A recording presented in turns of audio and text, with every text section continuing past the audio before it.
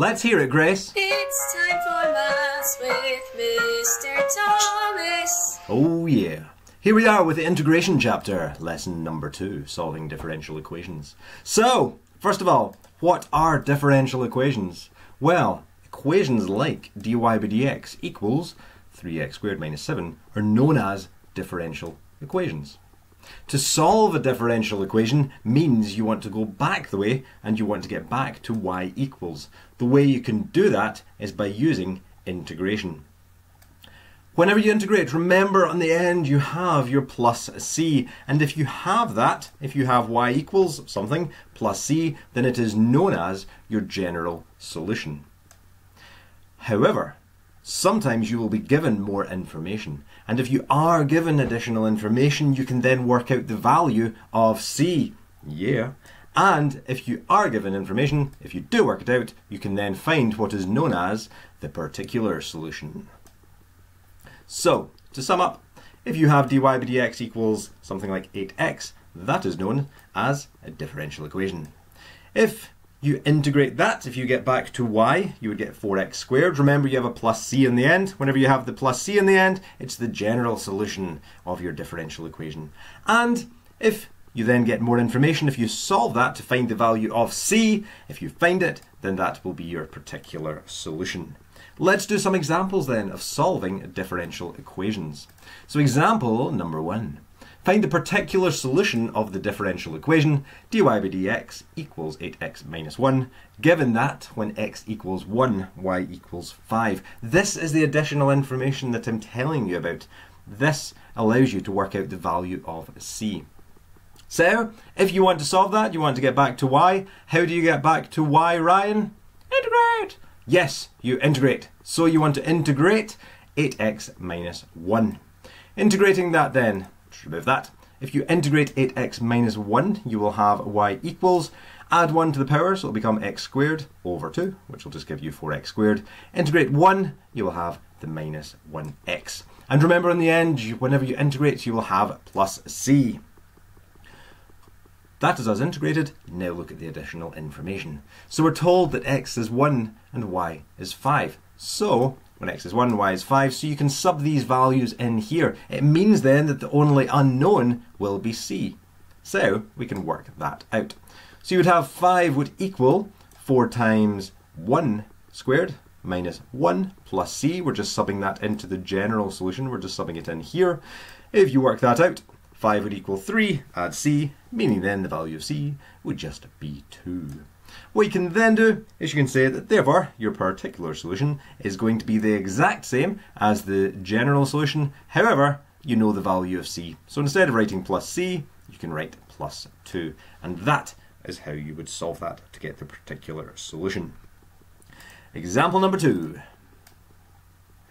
ds by dt equals 4t minus 3. Find an expression for s in terms of t, given that when t is 3, s is 20. So, once again, you want to get back to s, find an expression for s. So to go back the way, you would have to then integrate. So s equals is going to be the integral of this 4t minus 3 and because it's going to be the t that we're adding 1 to the power of and so on it would be with respect to t so you put dt just on the end. If you integrate that then you would say s equals integrating this you would end up with t squared over 2 but you've also got the 4 so the 4 and the 2 would just make that 2t squared. You've got minus 3 which will then become minus 3t and Leah what do you have in the end? Brilliant, plus C. You get it. That's your general solution.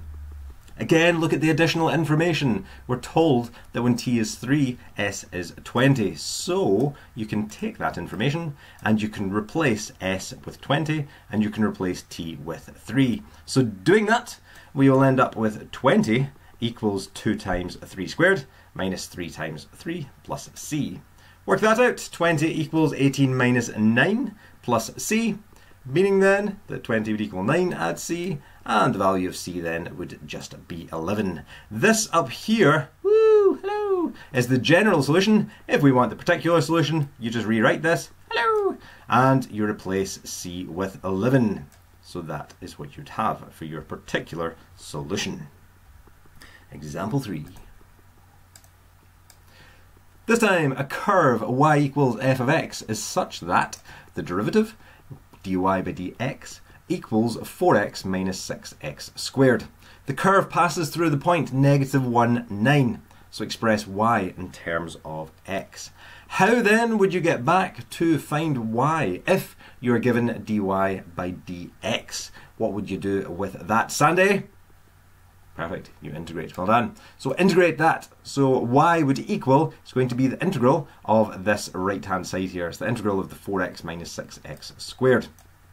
Integrating that then, you would end up with y equals, integrate the 4x would give you 2x squared, integrate this, you add 1 to the power, divide by the new power, so you'd have minus 2x cubed. And what else do we need, Sandy? Plus C. Yes, we've got plus c, brilliant. From there, again, you want to express y in terms of x. Well, we've done that, but we are given more information. We're told that it passes through the point negative 1, 9. These are your x and your y coordinates. So really, we know the value of x and y. So we can replace x and y with negative 1 and 9. So at negative 1, 9, x is obviously negative 1, y is 9, we can sub them into that equation. Therefore, you would say 9 would equal 2 times negative 1 squared, take away 2 times negative 1 cubed, plus c. Work that out, simplify it a wee bit, and you would end up with c equals 5. c is the only unknown there, so we can work it out. Again, you're wanting your particular solution. This is your general solution. All you want to do is you just want to rewrite that, but replacing c with 5. So you would say y would equal 2x squared minus 2 times x cubed plus 5. And that would be the equation. Let's try example 4.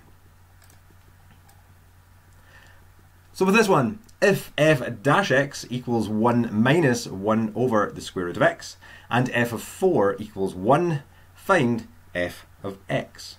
So with this one, how on earth do you do this? Well, again, you're wanting to find f of x. We are given f dash x, so we want to go back the way. So we need to integrate f dash x. We need to integrate this. So if you integrate the 1 minus 1 over the square root of x, how would you go about doing that? Well, you know you cannot integrate when x is on the bottom of a fraction or when you have any root signs, the square root, cube root, and so on. So we need to first of all rewrite this. So don't just say uh, don't just get rid of this integral sign because we're keeping that, we're not integrating yet, we are just rewriting it. So that is going to be equal to x, uh, the square root of x is obviously x to the power of a half, move that up to the top line and you'd have x to the power of negative a half. So keep 1 minus as it is and rewrite that. From there, well x isn't on the bottom, we also don't have any roots, so now we can integrate that.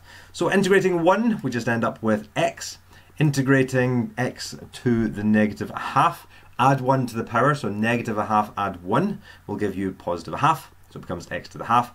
Divide by that new power, so we divide by the half, and then plus c.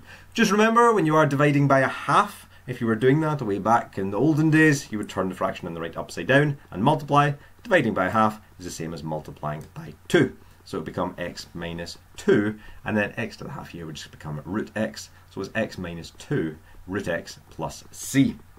So that is what you would have for your general solution.